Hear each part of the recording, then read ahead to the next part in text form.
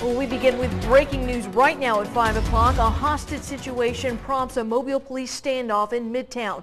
Right now, we know one person has been shot and was taken to the hospital with life-threatening injuries. Local 15's Jasmine Williams is at the scene with the latest. Jasmine?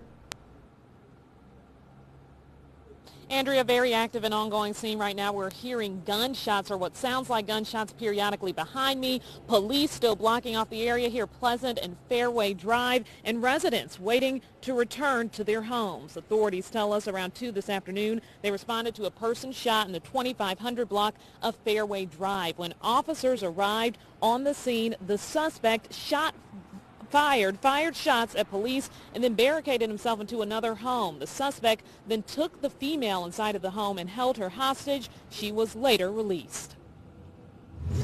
We have our uh, tactical unit out and we're actually trying to negotiate and talk to the suspect.